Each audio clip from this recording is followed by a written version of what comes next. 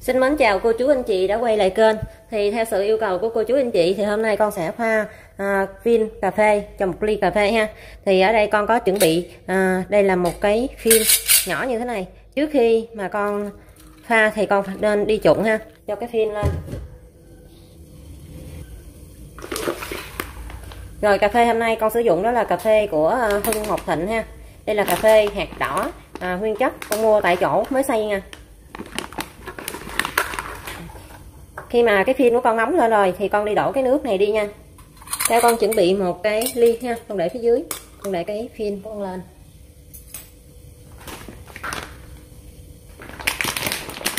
Để pha cho một ly cà phê thì con sử dụng à, 4 muỗng cà phê như thế này. 4 muỗng như thế này thì cho một ly cà phê thì tầm cỡ khoảng từ 20 đến 25 gram ha.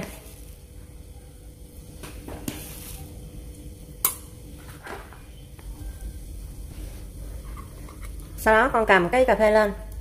Con lắc như thế này ha. Sau đó con dùng cái à, lược nè, con đẩy vô.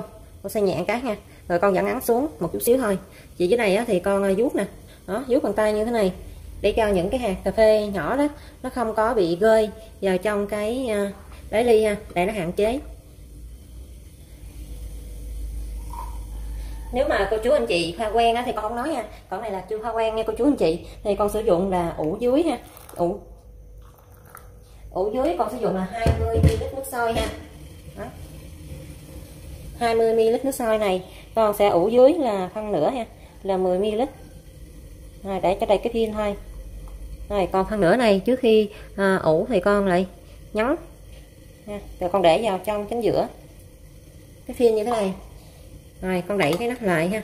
Con ủ ở đây, tầm khoảng 20 đến 30 giây ha. Rồi, sau 20 giây thì cà phê của mình á, nó đã nở ra ha. Bắt đầu lúc này con sẽ dở lên ha. Con lấy cái phần nước này nè, con để lên, đổ vào trong đây ha. Rồi, con lấy cái dĩ nè, con để xuống phía dưới để hứng.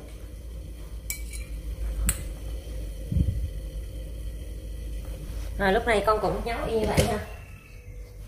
Và khi con pha thì à, con sử dụng đó là 60 ml nước sôi ha. Rồi, nước đang sôi nha. Thì con để vào trong cái phim này, con để vào ngay chính giữa nha ngay chính giữa trung tâm, chứ con không có xoay vòng vòng đâu hết. Rồi, con đậy lại để cho nó tránh mất mùi hương cà phê.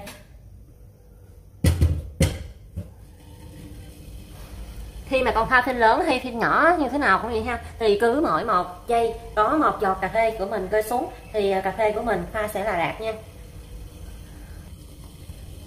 Sau khi mà con pha xong ha à, nhìn à, cái à, cà phê của mình nó không còn nhiễu xuống nữa ha. Bây giờ con dở ra xem ha thì trong đây nó đã hết rồi. Rồi con dở lên con định lượng. Lại cho cả nhà thấy là con đã pha à, thu được bao nhiêu ml ha. À, con thu được là 45 45 ml là 20 g cà phê. 20 g cà phê con thu về 45 ml là đạt nha cả nhà. Rồi con để vào trong một cái ly ha.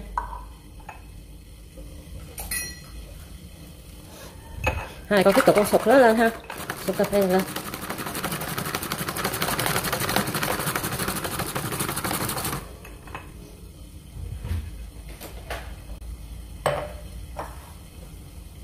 Sau đó, cái ly cà phê. Để đựng cà phê của con đây à thì con sẽ múc đường vào. Mỗi một cái à, ly cà phê. Để con bán cho khách, thì con để vào đây là hai muỗng đường.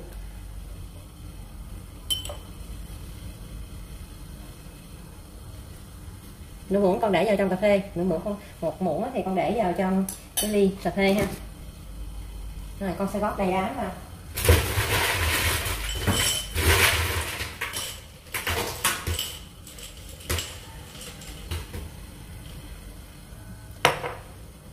Nếu mà dân uống cà phê, dạng chuyên nghiệp, thì họ không có uống đầy đá nha. Họ uống chỉ có nửa ly đá thôi. Sau đó con sụp lại cà phê thêm lần nữa nha.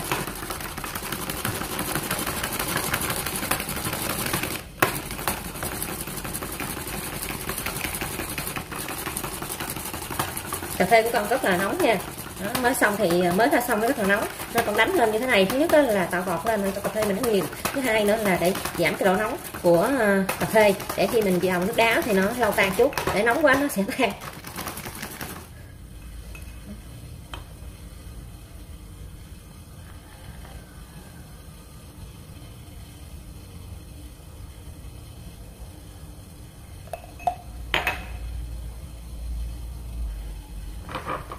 Và đây à đây là ly uh, cà phê của con mới vừa pha xong.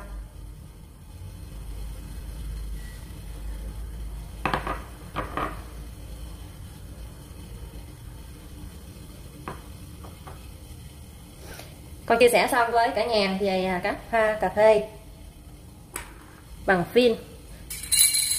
Rồi xin chúc cả nhà xem uh, clip vui vẻ nha.